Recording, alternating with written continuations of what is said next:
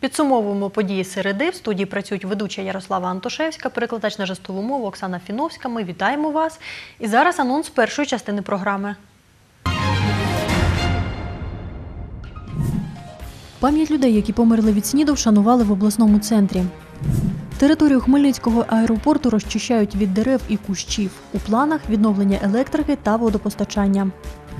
Угоду про нову систему підготовки комендантів з охорони посольств підписали в Хмельницькому.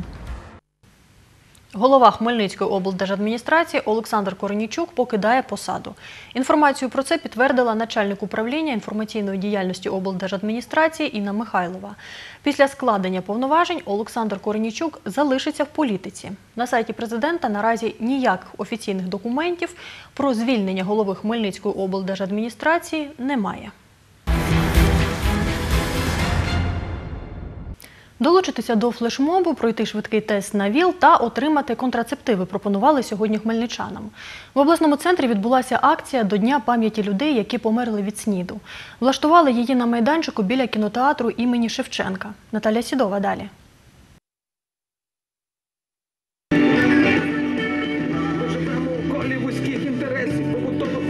Механічних процесів. Сонце марно дарує нам позитивні фотони, найскрутіші мобільні. Учасниками флешмобу до Дня пам'яті людей, які померли від СНІДу, стали студенти Хмельницького базового медичного коледжу. Що символізував ваш танець?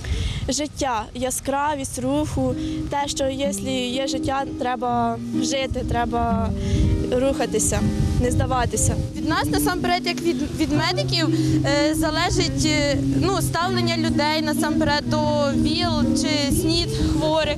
На майданчику біля кінотеатру Шевченка організатори акції встановили інформаційний стіл. Біля сцени діє мобільний пересувний пункт. Давайте кров і 100% дізнайтеся про свій ВІЛ-статус. Кожного року ми проводимо акцію Дня пам'яті людей, які померли від СНІДу. Цього року акція проходить під гаслом «100% життя, 100% толерантності. Сьогодні ми проводимо акцію. Долоньки толерантності це долоньки, які любий хмельничанин, який толерантно відноситься до ВІЛ-позитивних, може підписати цю долоньку толерантності. Потім з цих долоньок ми хочемо створити на організації дерево толерантності. У цій пересувній експрес-лабораторії усі бажаючі могли прийти тести на ВІЛ.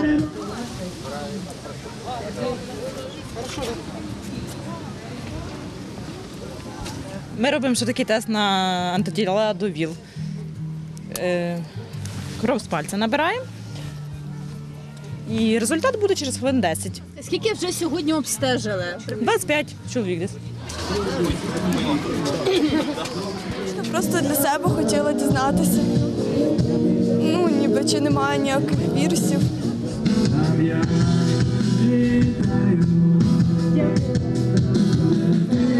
Е, Мені, як позитивній людині, сьогодні є сказати, що дуже важливо, щоб е, нас приймали такими, які ми є, тому що ми нічим не відрізняємося від е, інших людей. ВІЛ це не вирод. На сьогоднішній момент у нас перебуває е, більше двох тисяч е, людей, які мають ВІЛ-інфекцію. Це офіційна статистика. Неофіційна статистика говорить, що цифру треба множити вдвічі, а то і втричі. Е, Серед цих інфікованих людей є, на жаль, у нас є 174 дитинки. Порівняно з регіонами, наша область має низький рівень інфікованості. Наталія Сідова, Олександр Горішевський. Новини Поділля Центр.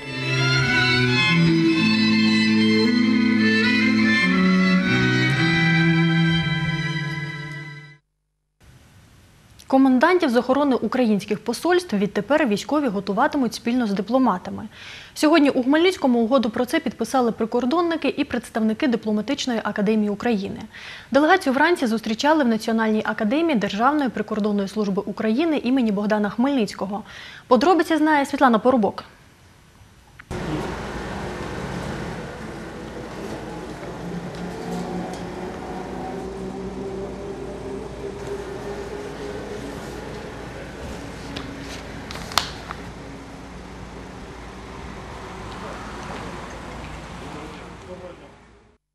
Національна академія Державної прикордонної служби України імені Богдана Хмельницького та Дипломатична академія України імені Геннадія Удовенка при Міністерстві збройних сил України сьогодні підписали угоду про співпрацю. Вона стосується підготовки комендантів з охорони дипломатичних установ посольств України.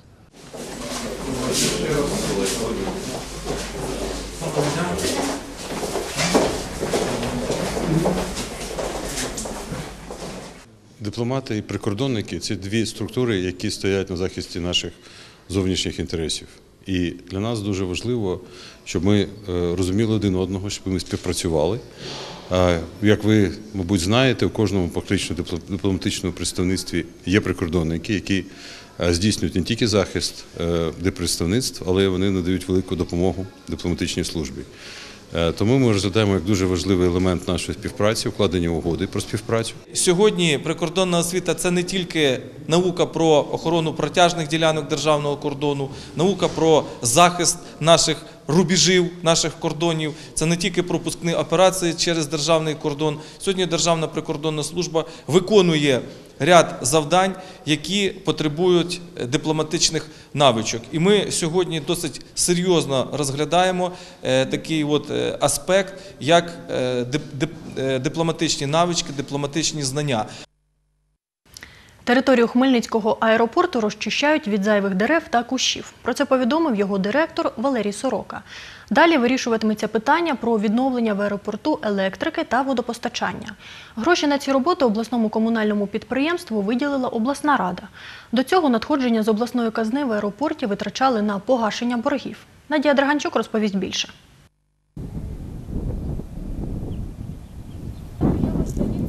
У Хмельницькому аеропорту вирізають зайві дерева та кущі. Роботи розпочали місяць тому. Наразі розчищають територію біля ангарів. Всього прибрати мають 80 гектарів площі литовища. На цій ділянці працює е, 10 чоловік. Ми вже працюємо тут 40 днів. Бо Около 30 гектарів вже вирізано різної деревини, кущів, е, порослі. На скільки днів розраховуєте цю всю роботу? Мінімум як на місяць. Ще. Ще на місяць, так. Да. Ще на місяць, не менше. Вирішується питання про забезпечення аеропорту електроенергією. Її тут немає 10 років. Трансформаторні підстанції та лінії електропередач належать державному підприємству «Украерорух». В Міністерстві інфраструктури було засідання е, по нашому зверненню Хмельницької обласної ради про передачу основних активів електропостачання, а також і інших основних засобів, які належать на даний час аерорухові. Е, З державної власності передати на баланс комунальному підприємстві. Засідання винесли позитивний висновок. Усі об'єкти, які є на території Хмельницького аеропорту, розділені між чотирма підприємствами. Це державне підприємство «Украерорух», ТОВ «Поділля Авіа», держава в особі Міністерства інфраструктури та саме комунальне підприємство «Аеропорт Хмельницький». Що сьогодні належить до КП аеропорту Хмельницький? Перше, це, як вже казав, земельна ділянка площею 134,8 гектарів, приміщення пожежної частини. Поряд це є недобудоване е, приміщення для, адмін, для адмінперсоналу. У нас тут знаходиться два ангари, плюс е, гараж, в якому знаходиться спецтехніка. Е, Є приміщення недобудованої їдальні, приміщення контрольно-пропускного пункту. Цього року мають відремонтувати КПП, відновити водопостачання в аеропорту та провести поточний ремонт злітно-посадкової смуги. На ці роботи рішенням сесії Хмельницької обласної ради, яка відбулася 27 березня, із бюджету виділили 3 мільйони 300 тисяч гривень. Комунальне підприємство оголосило тендер на відновлення ділянки для посадки та взльоту повітряних суден. Чекаємо до 20 травня результати тендерних пропозицій. Ми сьогодні сподіваємося на успішне його проведення, що буде визначений підрядчик, який е, зможе е, відремонтувати нам злітно-посадкову смугу. Заявлена вартість робіт 840 тисяч гривень. У скільки обійдеться відновлення всього Хмельницького аеропорту, Валерій Сорока наразі не каже. Чекає результатів техніко-економічного обґрунтування робіт. Після чого керівництво аеропорту та обласна рада вирішуватимуть питання про фінансування реконструкції литовища. Інвестора наразі немає, але якщо буде чиясь пропозиція, програма є відкритою для всіх, тобто вступити в програму фінансування аеропорту може будь-хто.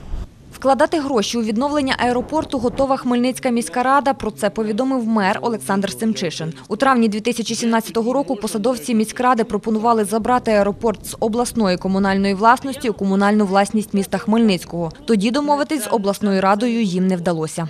Є варіант співфінансування 50 на 50. Тобто цілком можливо, що це буде спільна власність громади міста і громади області з спільним фінансуванням. Е, Будь-які інші механізми так само робоча група напрацьовує. Що, і що я з позитивної точки зору, нарешті ну, в нас почався нормальний конструктивний діалог. Надія Драганчук, Дем'ян Цегольник, Володимир Паламар. Новини Поділля Центр. Ви дивитеся новини. Далі анонс їх другої частини. 31 команда з 9 країн світу приїхали до обласного центру на міжнародні змагання кінологів. 40 робіт представили на виставці про білорусів з Україною в серці в музеї історії міста Хмельницького. Юніори області виграли 40 медалей на чемпіонаті України з рукопашного бою. 31 кінологічна команда з 9 країн Європи виступила сьогодні на міжнародних змаганнях, що розпочалися в Хмельницькому. Учасники боролися у пошуку наркотичних засобів, зброї, набоїв та тютюнових виробів. У Хмельницькому такий турнір відбувається вперше. Приймає його регіональний кінологічний навчальний центр Всесвітньої митної організації. Як змагалися кінологічні команди, бачила Дарина Денисенко. Вони шукають наркотичні засоби та тютюнові вироби.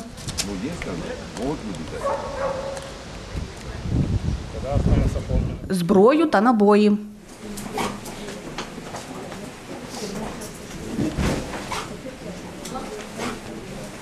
Усе під наглядом суддів.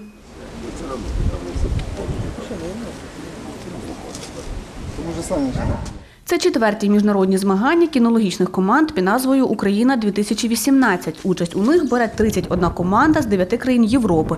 Серед учасників представники Словаччини.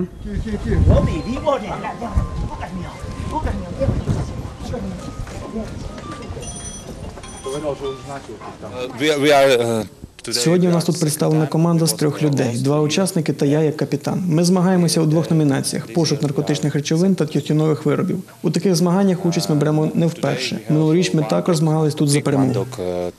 Перший на таких змаганнях учасник з Грузії Сандру Хутішвілі. много означает для меня. Це дуже багато означає для мене. Багато дізнався тут, почув. У мене хороший пес. Ми отримали 100 балів зі 100, тому є шанси на перемогу. Есть шансы на победу даже. Допоки на тренувальному майданчику змагаються у пошуку наркотичних засобів, у приміщенні випробовують свої вміння у пошуку зброї. Петро Малий на кінологічних змаганнях представляє Національну гвардію України. Торік на міжнародному турнірі виборов друге місце. Я виступаю у напрямку пошук зброї та боєприпасів. На даному етапі так впорався.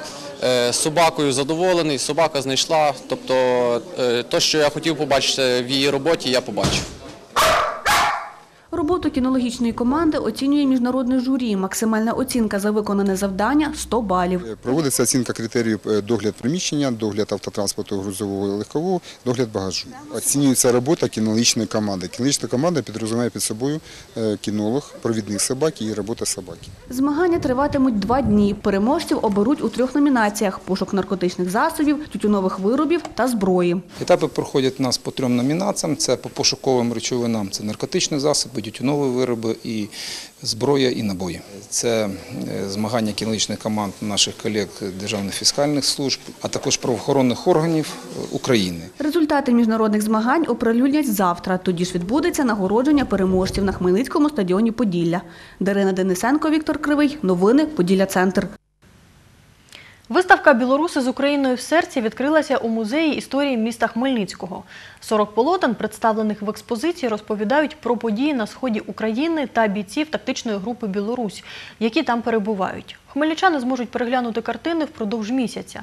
Їх вже бачила моя колега Ольга Нісміянова.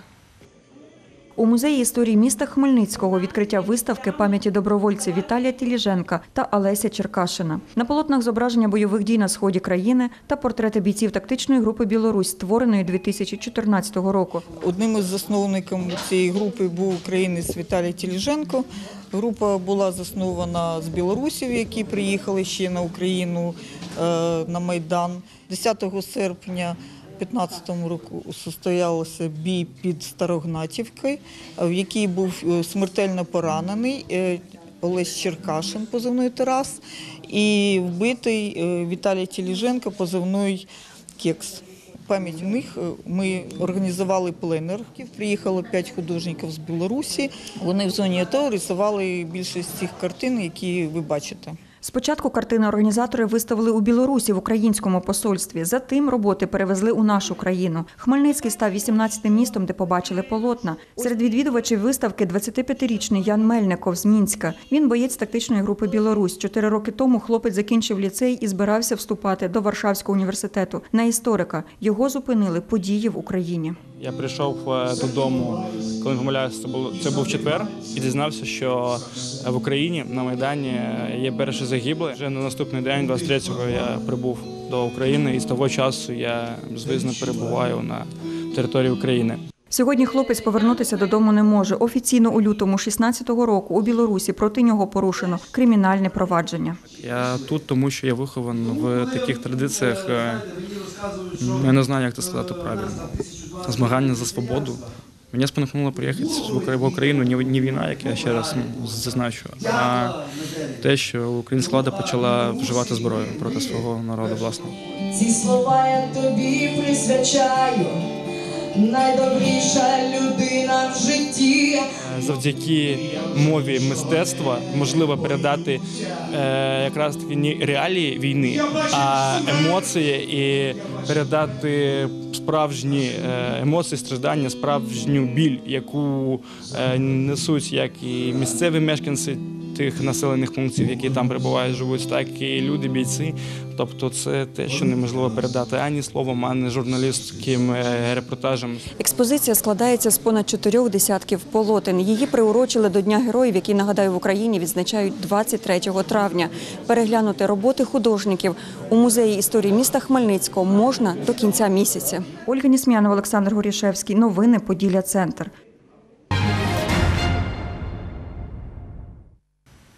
39 юніорів-рукопашників Хмельниччини здобули 40 нагород чемпіонату України. Бійці могли виступати в кількох версіях бойового мистецтва: рукопашному бою за правилами легкого та дозованого контактів, і також ката зі зброєю та без неї. Більше про результати рукопашників розкаже Світлана Поробок.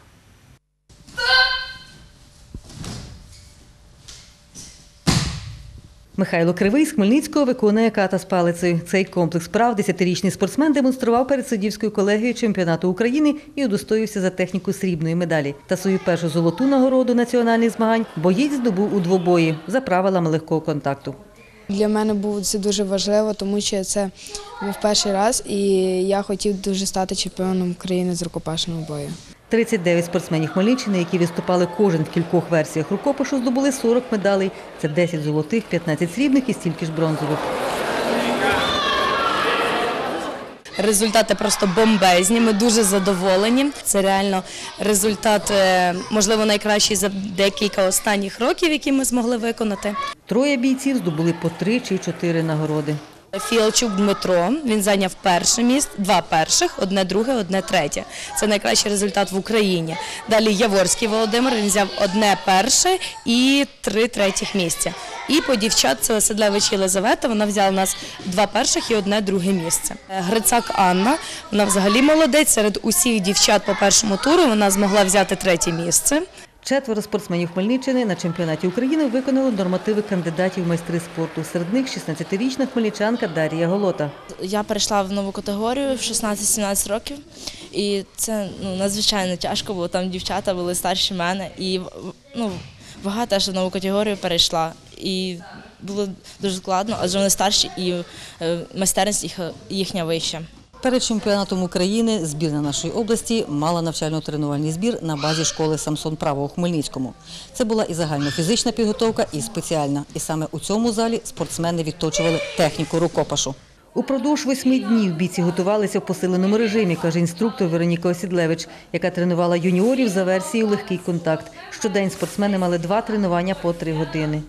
Важкі, дуже важкі.